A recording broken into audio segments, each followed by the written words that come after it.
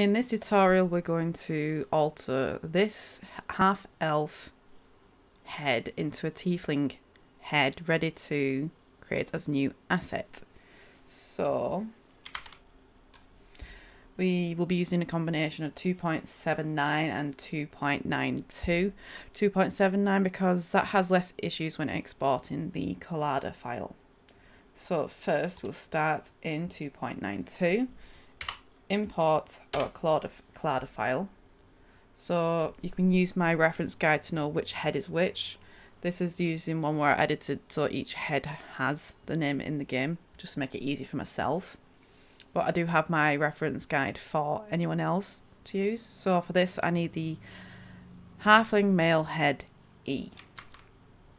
So I go to my unpacked data, models, generated, public, shared, assets, characters, anims, half elves, male resources. Okay, so I haven't actually converted any of them to DAE yet. However, with the models multi-tool, male, naked, head, F. What's F for? Oh, E.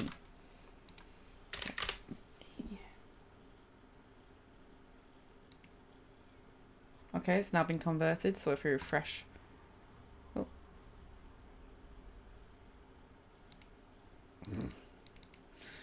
Yeah, sorry about that. Uh,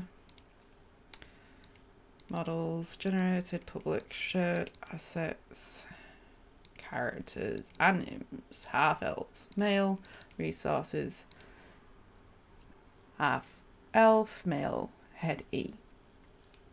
So the new update to the Modders multi-tool is extremely handy, especially if you don't want to go through converting them all at once.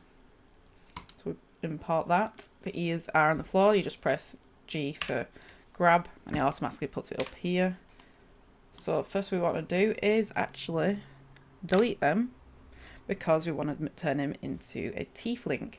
So we first hide all, right click over here and new collection. I'll just do this because it's easier to delete that section later. Import Collada. So now we need a tiefling male head. Let's have a look at Zevlor's ears. Maybe we use his. Okay, we'll see what they look like. Delete the rest of that. Mean, I presume they look older because Zevlor's technically older. Let's just delete them for now. So let's go back to index search and actually just have a look at head E. So mouse wheel to zoom, left click to drag.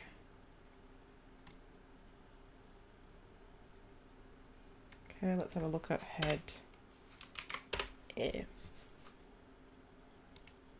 Oh, that's the base. Um,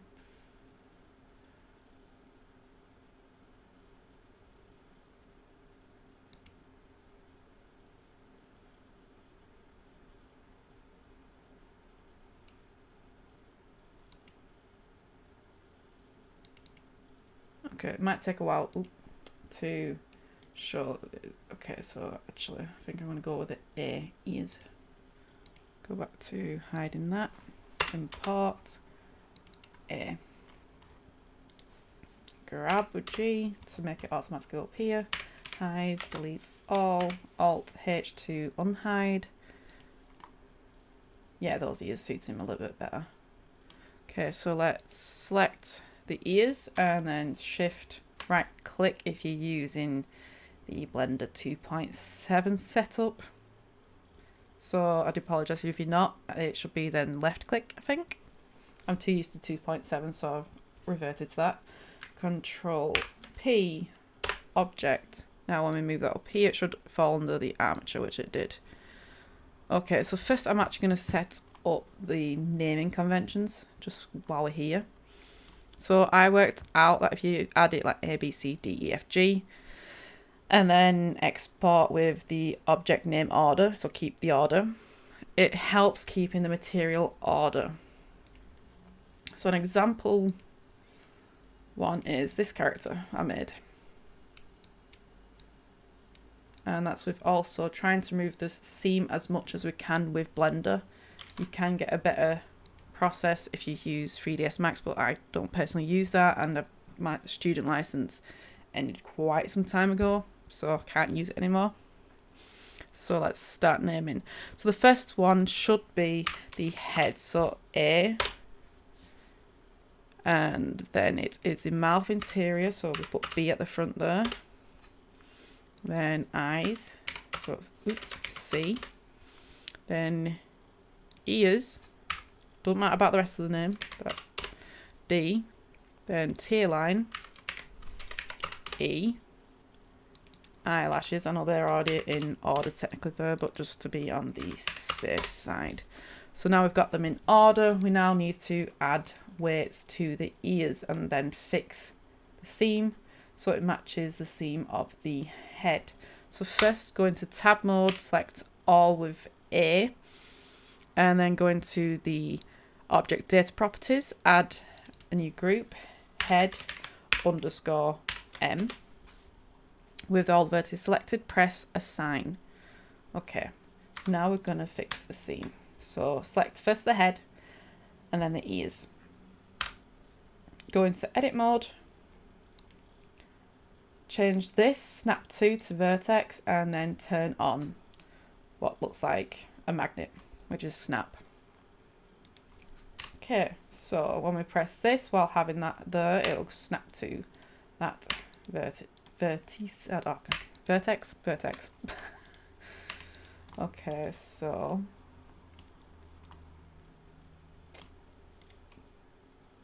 definitely helps having a basic knowledge of the program already. Like I said, if you don't change the to 2.7 then it will be slightly different to this. Okay. Nope.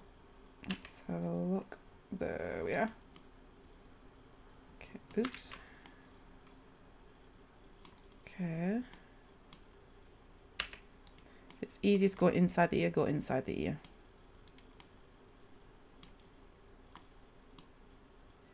So that one should go to there, and then that one to there. Yep. And then that one, oops, to there.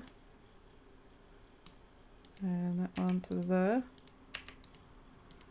Sometimes, like I said, it is easier doing it from the inside because you can see the mesh. Other bits you will want to join a bit easier. Okay. Also, if you want to, you can go out of edit mode, hide the armature or the skeleton, whichever you prefer to call it. Okay, that is now all aligned on that ear so we repeat the process on the other ear. And the snapping guide completely thanks to Alana for that because I was actually doing control M for merge. I don't think it is control M anymore in this. No it isn't so in 2.79 I was using control M to snap to the vertices and join them and I was actually getting loads of errors this way so this way seems to be definitely the most advised way of doing it. So that's why I suggest a combination now of 2.79 and 2.9. Okay, let's go back on the inside here. Okay, so that one goes to that one. Let's turn that on. Okay.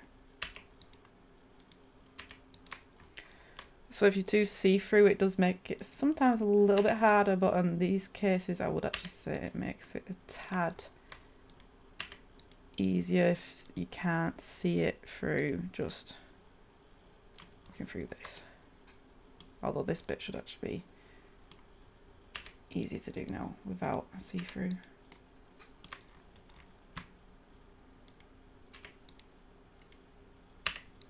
Okay, we now have the... Oop. Must have gone wrong somewhere. Because it has actually the exact same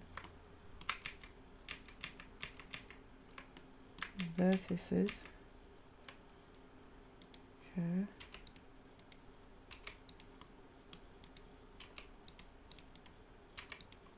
Okay, let's just put them. Aha. Uh -huh. Just saw the gap and now I can't see the gap. Where was it? Oh, the back of the ear. Sorry for all this spinning about there. So,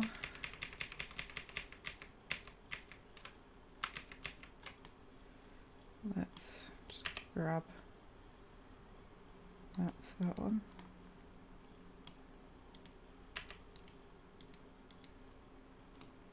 Is one? Yep. Which one was that one? Okay, so we want to put that one to that one. This might have been where I've gone wrong. So as you can see, it can happen. Don't matter, just press Control Z. And if you want, set up. Ah, oh, went down there. Set up that the Control Z actually gives you a bit more of a memory if your computer can handle it because then you've got more room to for error basically to improve on it. Okay, so right now I would say that I need to just uh, just um, modify that a little bit. So let's select the ears, then Shift Alt, Shift Alt, Control. Okay. Shift control right for me and then just scale it in a little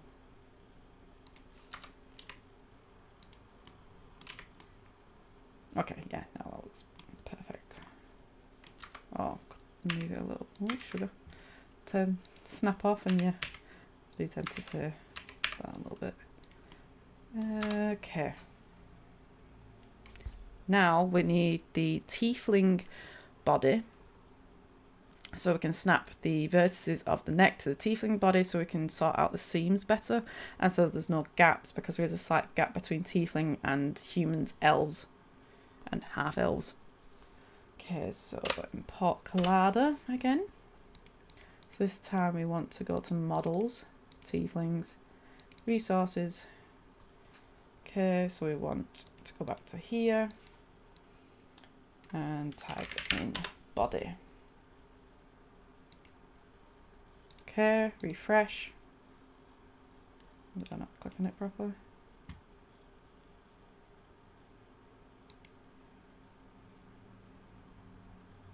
Uh, there's the right one, I think.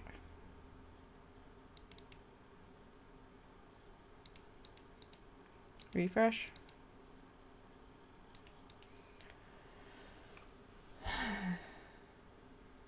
Models, tieflings, male resources. Yes. Models, tieflings, res male resources, that's where I went wrong. As you can see, we can already see gaps here, so we want to shift click to select them, making sure the last one we selected was a head. Don't know if this actually does make much of a difference, but we'll see. So the head, so just make sure it is the head. So go like that. This is so you don't accidentally move the body mesh because you're still going to get a gap because what we're using is only the head.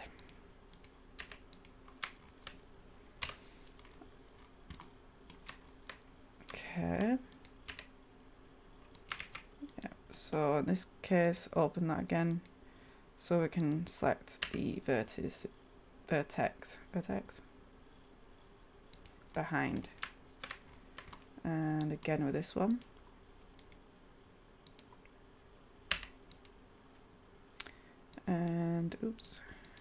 Again with this one. And Yeah, this one.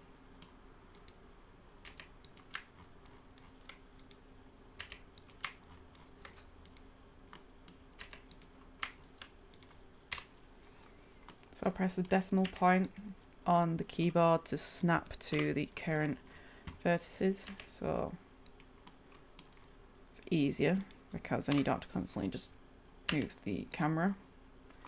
Okay, I think we've done. Yeah.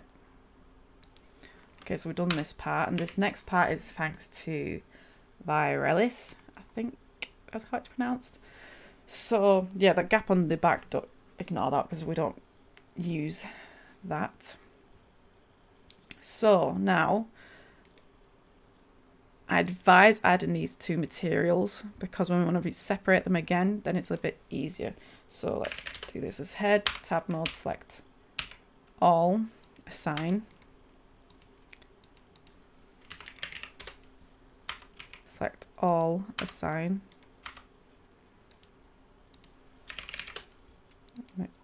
make sure it's all of them, then assign.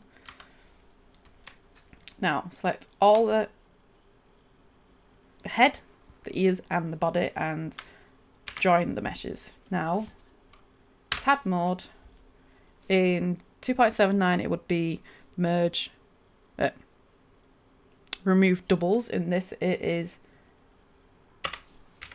merge by distance. Now if you want to add this to your quick favourites, it'll be here mine's already in it so when I press Q I can just press that and it'll do it so as you can see now the seam is technically the fixed. So now we press shift D. Should I first turn snapping off. Shift D left click. Okay just make sure it don't move the mouse otherwise it does that weird pattern in between.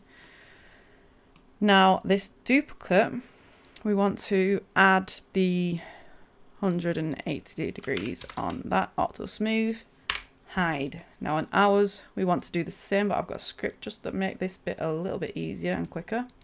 So we go into text editor and text open the text that I'll be linking to in the description. It is on the Larian discord already so I'll be linking to that so you can download it. And now we press while this is selected and while my mouse is hovering over this window, Alt plus P. Now that's automatically at the auto smooth 180 degrees. But if you want to do it differently, just run it by this text and run script. And now if we go to modifiers, our data transfer is already there. And if you've lost the armature modifier, don't worry, we'll be adding that again because our weights are all still there. So now all we have to do is choose our second mesh. And yeah, that's done. And now we just got to separate them again. So select body. P for separate by selection. Okay, then select the head. Right, we're going to actually separate the ears and just rename the mesh. So this is a head, don't matter about the rest of it like I said before. And then the ears, can rename them all if you want. This body we do not now need delete. Now I'm going to say Alt. You can apply this in here or in 2.79. So let's actually let's not delete just hide as long as we've got selection on export that's the main thing so alt h so we get our armature back. So unhide all. And if we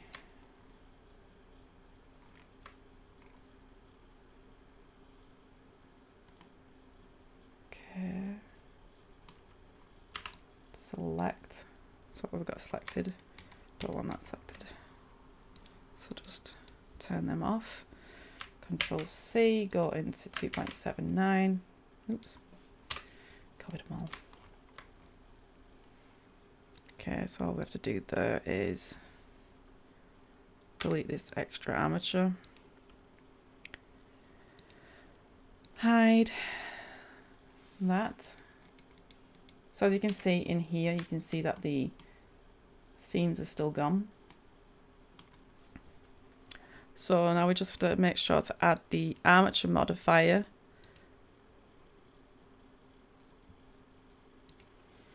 On data transfer apply, data transfer apply, add armature modifier, and make sure all the weights are still there. So when you press chest, yeah, selects that. So now we have our edited mesh except we need to extend the forehead a little for it to work as a tiefling. So now I'm going to go in sculpt mode with the head selected and inflate. The main part is the very front part of the head. You might have to also do a little bit up here, but it's mainly this bit. So you will probably be going back and forth in the editor a little. Let's just see if that actually worked. So select all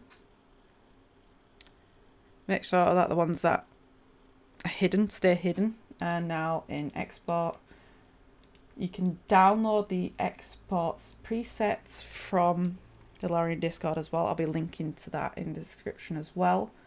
And click selection only, so it only does the selected meshes.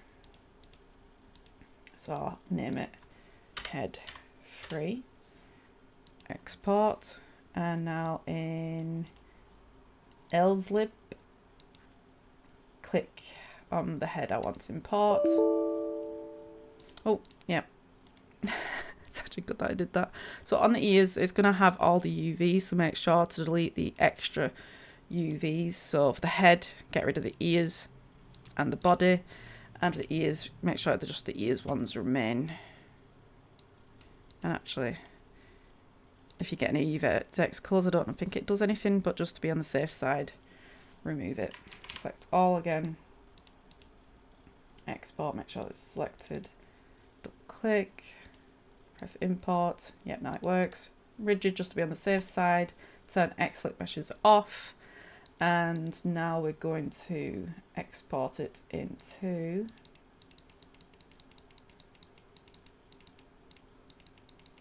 Okay, I'm going to use head C for this just for testing.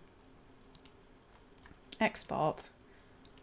Load the game. Change the head C and yes, it's our head and as you can see there's barely any visible seam on the ears or on the neck. The Warlock out uh, Wizard outfit is the best one to test this on unless you use a mod that removes the outfit.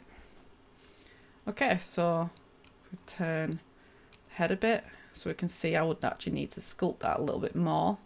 So let's go back into 2.79, select the head, sculpt mode, add a bit more to the forehead, back into object mode, export, heads, go through this again, import, make sure to turn off cloth, turn on rigid and make sure that's still unselected. Go back in game. Okay, it's getting there. Is it just the front or is it the sides as well? It's the sides a little bit as well. Okay.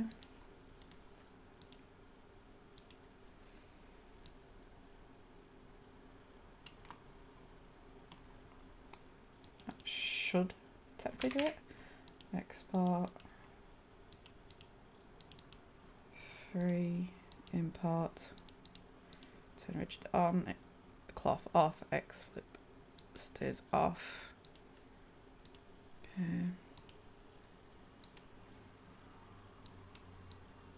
Okay, now it's gone through the horns technically a little bit, but now it looks like it's actually coming out of the skin. So that's now that halfling male elf E head, elf, half elf, converted to tiefling. And barely any seam. Thank you to Vyrelis and Alana for working out some of the extra parts and with the addition of keeping object name. Keep sort by object name which is why I worked out for the A, B, C, D, E, F, G thing, which I mentioned. That just makes it easier to sort out the materials because now, thankfully, all the heads have the same material order. Well, it's not showing on there properly. Oh, it's because I've actually not updated. Okay, so if you want to make sure it updates the name here as well, just change that to head so it doesn't confuse you in the LSLib. Because now if we export and import that, should now say head, yeah. Head, mouth, eyes, ears, tear line, eyelashes, eyeshadow. Okay, that concludes making the meshes or editing the meshes. So, or converting one race to another. With the, obviously the halflings, dwarves and stuff, it would be positioning it better as well. So that is it for this tutorial. And if you want to add it as a new asset, I have a PDF in my tutorials page on the Nexus and Baldur's Gate 3. Thank you for watching and have fun modding.